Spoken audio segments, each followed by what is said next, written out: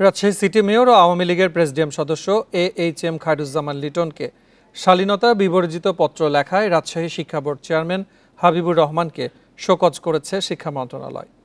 আগামী দশ কার্যদিবসের মধ্যে কারণ দর্শানোর নোটিশের জবাব দিতে বলা হয়েছে। চিঠিতে বলা হয়, city mayor A H M Khairuzzaman Liton একজন নির্বাচিত জনপ্রতিনিধি ও বাংলাদেশ আওয়ামী লীগের সভাপতি মণ্ডলীর সদস্য।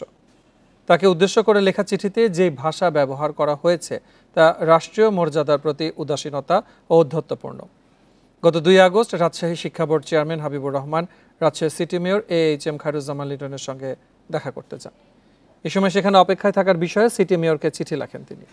গত চব্বিশ আগস্ট শিক্ষা মন্ত্রণালয়কে চিঠির বিষয়টি জানান সিটি মেয়র খায়রুজ্জামান লিটন।